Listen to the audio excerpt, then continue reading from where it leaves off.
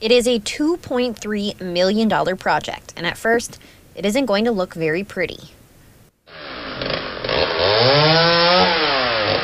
It, it, certainly is necessary as part of the project, and several of the trees that may, may appear healthy, but, but they're actually diseased. Bob Patterson with the City of Burlington says cutting down those trees is part of the stream restoration happening at Burlington's Willowbrook Park, which is a small part of a bigger project, the Willowbrook Arboretum. So I think that would be a real asset for Burlington and, and our neighborhood. That is exactly what the New Leaf Society had in mind when gifting the money for the Arboretum to the city. Rhett Davis, the president of the New Leaf Society, says the group saw Willowbrook as an opportunity. Take pieces that are what I call diamonds in the rough, and I look at, at what is and what could be.